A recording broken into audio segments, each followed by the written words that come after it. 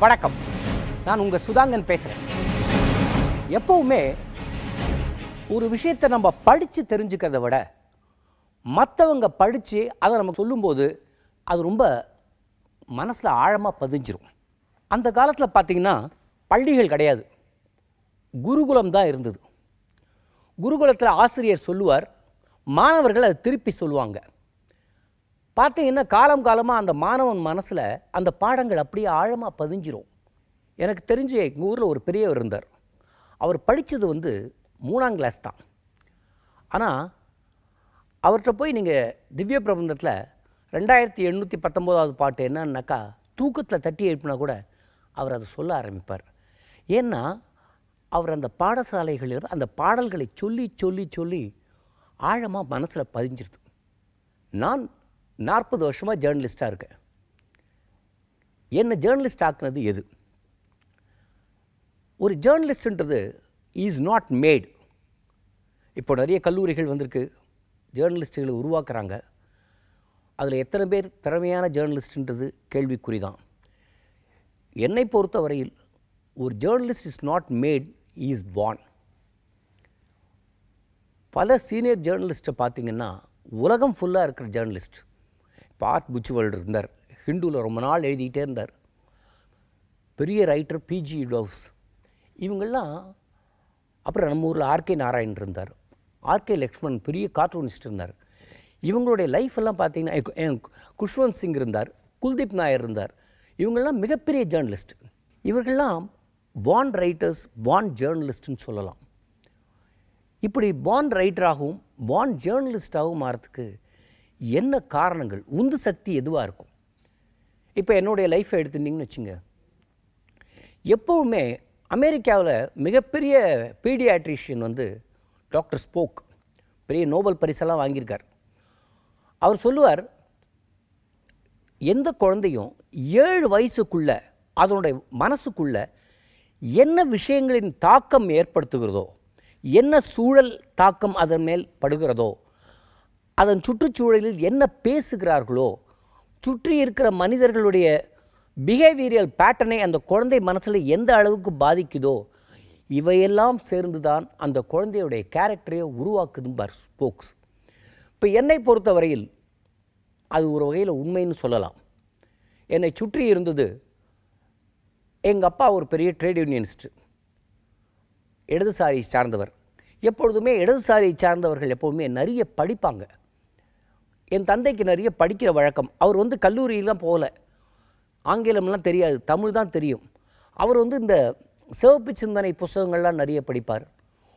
குறிப்பாக ஜெயகாந்தன் ஜெயகாந்தனுடைய நாவல்களில் நாவல்கள் சிறுகதைகள் ஜெயகாந்தனுடைய கட்டுரைகள் இதெல்லாம் தந்தைக்கு ஒரு பெரிய பாதிப்பு. என்னுடைய தாயாருக்கு கர்நாடக சங்கீதம் கதா காலட்சேபங்கள் நாட்டிய நாடகங்கள் சிவாஜி கணேசன் படம் பார்ப்பது நாடகங்களுக்கு நிறைய போவது இப்படியாக பக்தியும் நிறைய இருக்கக்கூடியவர் என்னுடைய தாயார்.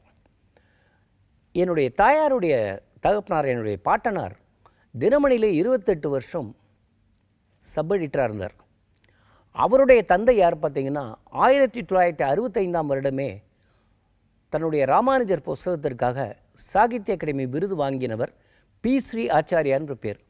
ஆயிரத்தி தொள்ளாயிரத்தி முப்பதுகள்லேயே ஆனந்தவடனில் குழந்தைகளுக்கும் ராமாயணம் புரியணுங்கிறதுக்காக சித்தர் ராமாயணம்னு எழுத ஆரம்பித்தார் அவர் ராமாயணம் சொல்லுவார் அதை ஒரு ஆர்டிஸ்ட் படமாக போடுவாங்க. அவர் அந்த காலத்திலேயே கம்பனில் ஒரு அத்தாரிட்டியாக இருந்தார்.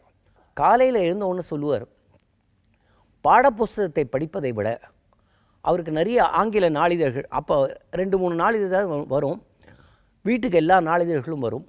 நாங்கள் சிறு வயசில் இருக்கும்போதே அந்த பேப்பரை எடுத்து காத்தால் அவருக்கு படித்து காட்டணும்.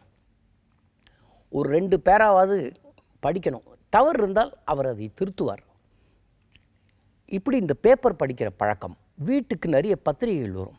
ஆனந்தவிடன் அப்பொழுது ஆனந்தவிடன் தான் சில வீடுகளில் குமுதத்தை அனுமதிக்க மாட்டார்கள். என்னால் அது கொஞ்சம் வரம்பு மீறிய பத்திரிகையாக அப்பொழுது கருதப்பட்டது. அதே மாதிரி சினிமா கூட்டம் போனால் கூட சிவாஜி கணேசன் படத்துக்கு கூப்பிட்டு போவாங்க. இந்த பக்தி நெறியில் வந்த குடும்பத்தில் எப்படின்னா அப்போ எம்ஜிஆர் படத்துக்கு கூப்பிட்டு போக மாட்டாங்க. காரணம் எம்ஜிஆரை பிடிக்கலன்னு அர்த்தம் இல்லை.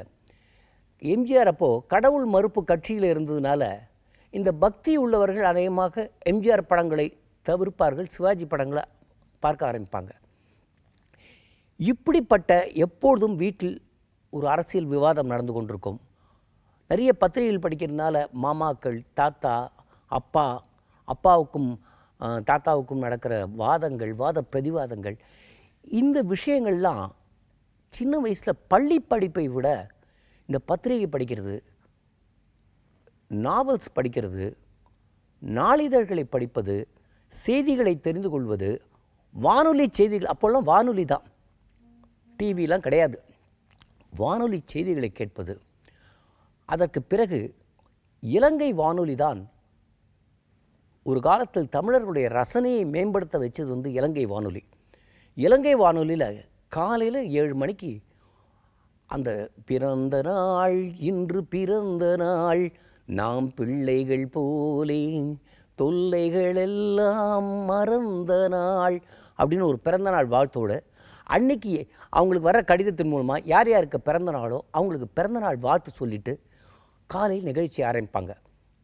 அப்போ வரக்கூடிய தமிழ் படங்கள் ரிலீஸ் ஆகக்கூடிய படங்கள் ரிலீஸ் ஆகிறதுக்கு முன்னாடி பார்த்தீங்கன்னா இலங்கை வானொலியில் அந்த பாடல் முதல்லே வரும். உதாரணமாக ஏவிஎம் எடுத்த பாவ மன்னிப்பு படம் எடுத்துங்க. அந்த பாட்டு அந்த படத்தினுடைய அத்தனை பாடலும் ஹிட் ஆனது காரணமே இலங்கை வானொலி தான்.